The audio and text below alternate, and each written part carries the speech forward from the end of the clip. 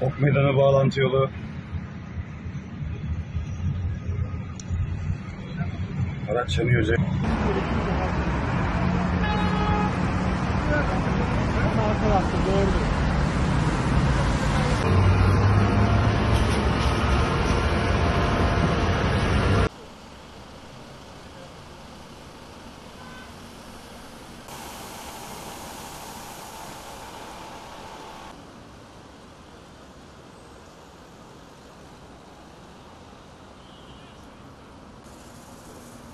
Cenk.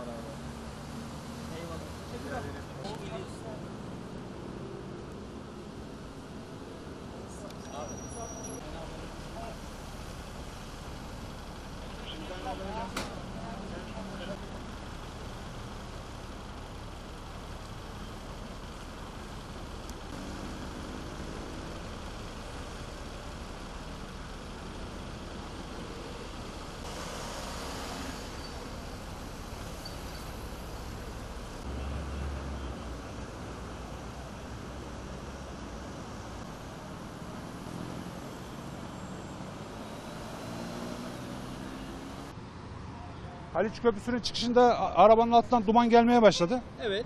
Aşırı derecede bir trafik vardı zaten. Ee, diğer araçlar zarar görmesin diye e, is- ve insanlar zarar görmesin diye buraya kadar gelmeye çalıştım. Aracı güvenli bölgeye aldıktan sonra altından alev almaya başladı.